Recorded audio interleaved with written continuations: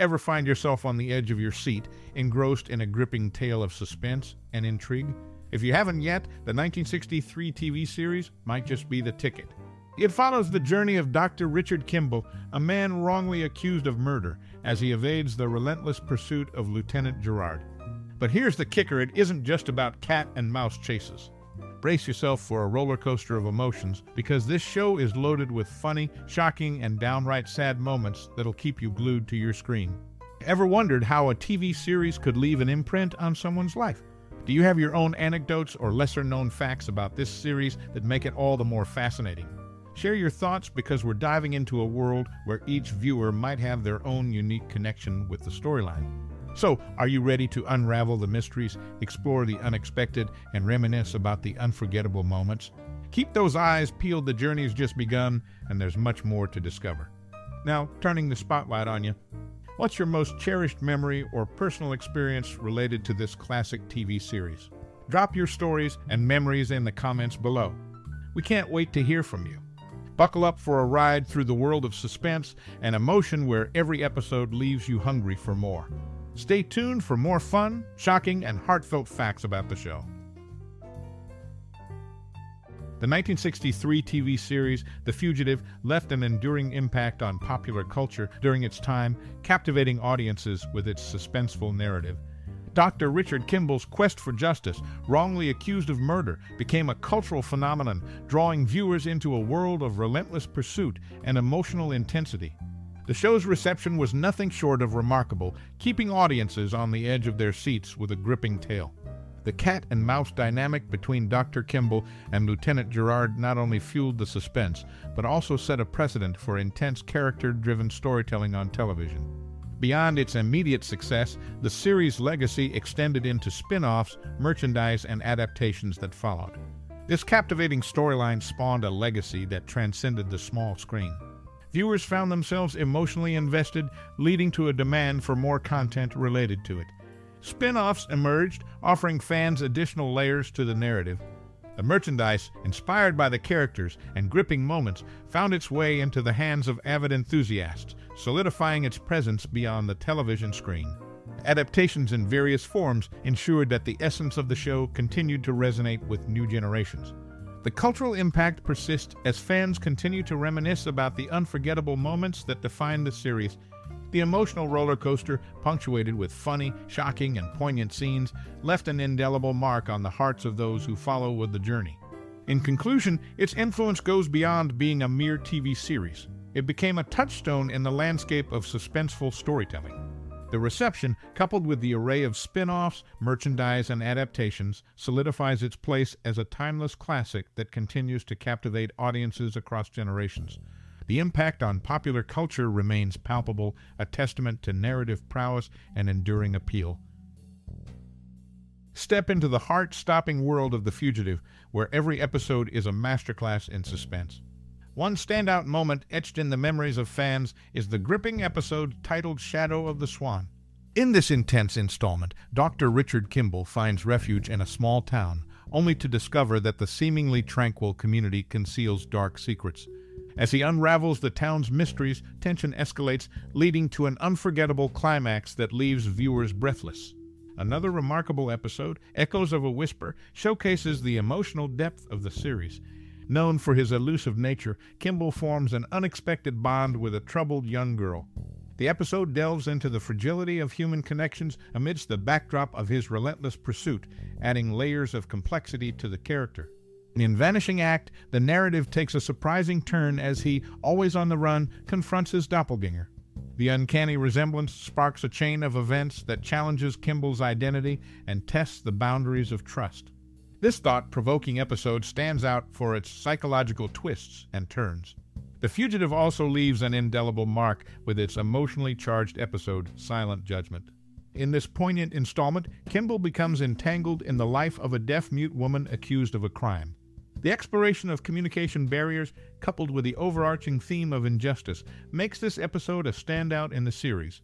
As the series unfolds, City of the Angels emerges as a visual spectacle, Set against the backdrop of Los Angeles, this episode showcases the versatility of the show, seamlessly blending suspense with a touch of film noir. The cityscape becomes a character itself, adding a new dimension to Kimble's relentless journey. In the end, it's not just about the pursuit of justice, but the intricate web of human stories woven into this timeless classic. Each episode unfolds a unique chapter, revealing the multifaceted nature of Dr. Kimble's Odyssey. From heart pounding chases to soul stirring connections, the show remains a timeless classic that transcends the boundaries of ordinary storytelling. Barry Morse, known for his role in the series, recounted encounters with elderly ladies in supermarkets. They'd urge him to spare Dr. Kimble, insisting that the one armed man was the true culprit. The show's impact went beyond borders. A German magazine proposed a contest where readers would stalk David Janssen through West Berlin's streets, showcasing the series' global popularity. During the final episodes airing, Janssen, engaged in the Green Berets, discussed the finale on Joey Bishop's ABC nighttime show from Fort Benning, Georgia. This highlighted the show's enduring influence, even as its lead actor was immersed in other projects. The juxtaposition of Janssen's roles emphasizes the significance of the fugitive in his career. The concluding chapter of The Fugitive unfolded uniquely as its fourth season became the sole installment shot in color. William Shatner, DeForest Kelley, and James Doohan, familiar faces from Star Trek, made early appearances in this series. The final two part Judgment episodes and some others in the last year discreetly incorporated music cues from Dominic Frontiere, originally composed for The Outer Limits, 12 O'Clock High, and branded. Uncredited in the end, these episodes also borrow wood cues from Bernard Herrmann and Jerry Goldsmith's compositions, along with snippets from Capitol's music library. Barry Morse, integral to the series, shared amusing encounters with supermarket patrons who passionately pleaded for Dr. Kimble's innocence, convinced the one armed man was the true culprit. Across borders, a German magazine launched a contest where readers would stalk David Janssen through West Berlin streets, underscoring the show's global allure.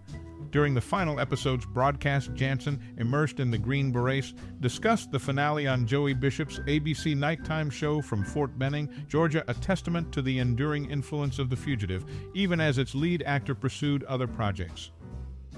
Contrary to some misinformation, rumors about an alternate ending for the series have been debunked. Barry Morse clarified that the false arm theory might have originated from a playful plan he and David Janssen had for public appearances. Janssen humorously suggested Kimble killed his wife because she talked too much. Another whimsical idea involved an alternate epilogue where he wakes up beside his wife, revealing the entire ordeal as a nightmare. Janssen even proposed a final scene with him on a beach, detached prosthetic arm in hand, as the one armed man faces execution. Whether serious or jest, these ideas added an intriguing layer to the unresolved tension. Ken Wilhoit, the series' music editor, had a connection to the real life inspiration for The Fugitive. His wife, Susan Seaforth Hayes, was involved in an affair with Dr. Sam Sheppard, whose case influenced the show. Sheppard later appeared as a prosecution witness. These personal connections behind the scenes added a layer of complexity to its production. Barry Morse, recalling an amusing incident, shared that someone once slipped him a note in a London restaurant that read, He is in the kitchen. This anecdote highlights the fervent engagement and speculation surrounding the show even beyond the television screen. The show continued to make waves globally. Morse recounted encounters with elderly ladies in supermarkets, pleading for Dr. Kimble's innocence and convinced the one armed man was the true culprit. In West Berlin, a German magazine proposed a unique contest where readers would stalk David Janssen through the city's streets, underscoring its international allure. Even as Janssen discussed the finale on a nighttime show from Fort Benning, Georgia, his engagement in other projects highlighted the enduring influence of the series. The concluding chapter of the series saw a unique shift as its fourth season became the only installment shot in color. Noteworthy appearances by William Shatner, DeForest Kelley, and James Doohan from Star Trek added to the intrigue. Music cues discreetly borrow wood from other shows, including The Outer Limits, contributed to its atmospheric quality. These subtle touches enrich the viewing experience, making it a standout in the realm of television classics.